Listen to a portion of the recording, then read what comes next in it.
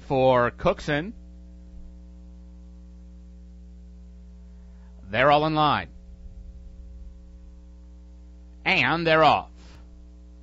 Fleetone and Cookson, the first two to rake out of the gate. Native Dood is trying to join them from the inside. These three split away from Indy Connection, who runs four lengths off the lead. Then it's Eden Song in front of JK's Jazzman. Ostin's Miracle, first Prince, second last, and Jump Cut is the trailer, and he's got 14 lengths to make up on Fleetone and Cornelio Velasquez. It is Fleetone leading just about a length. Cookson from there from the outside. Native Dood is a close up third. These three are still well clear of the others. Indy Connection now has five lengths to make up. Then it's Eden Song outside of JK's Jazzman. Another break of five to First Prince inside of Ostin's Miracle. Nothing yet from Jump Cut as they string out going to the far turn. The favorites have it. Fleetone and Cookson still 1-2. Cornelio Velasquez and Fleetone going well into the far turn. That one hasn't been asked yet and has opened up now to lead it by two on Cookson, who's suddenly under the whip, but a clear second at this point. It is Fleetone leading the way to the quarter pole. His lead is about a length and a half. Cookson under a heavy whip right now and trying to get back at him from the outside.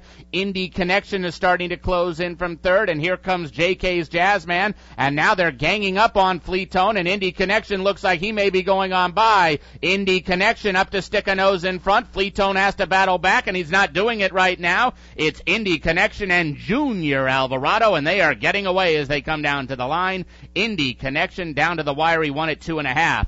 Fleetone was second. JK's Jazzman was third.